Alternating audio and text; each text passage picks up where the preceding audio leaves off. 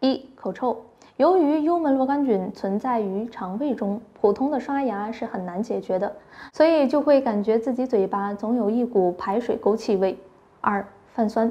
幽门螺杆菌引起胃酸分泌变多，引起胃黏膜损伤，出现泛酸症状，引起黑痰和吐痰的感觉。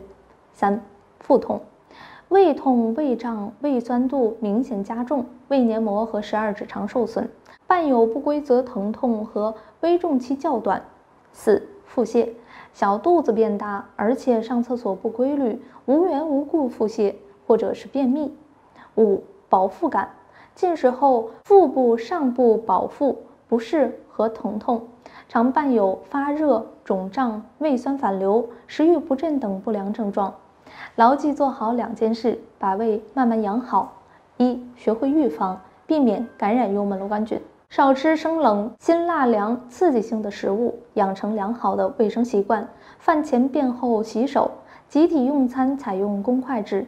二、多喝养胃水，我们还可以借助食疗来养胃杀菌。食疗杀菌主要就是利用具有杀菌养胃功效的食物，改变胃环境，让胃变得不再适合幽门螺杆菌生长，胃中的幽门螺杆菌也就自生自灭。提醒你的是，丁香是幽门螺杆菌的天生克星，因其特有的丁香油和丁香酚，能有效的抑制幽门螺杆菌的活性，从而达到抑制和杀死幽门螺杆菌的效果。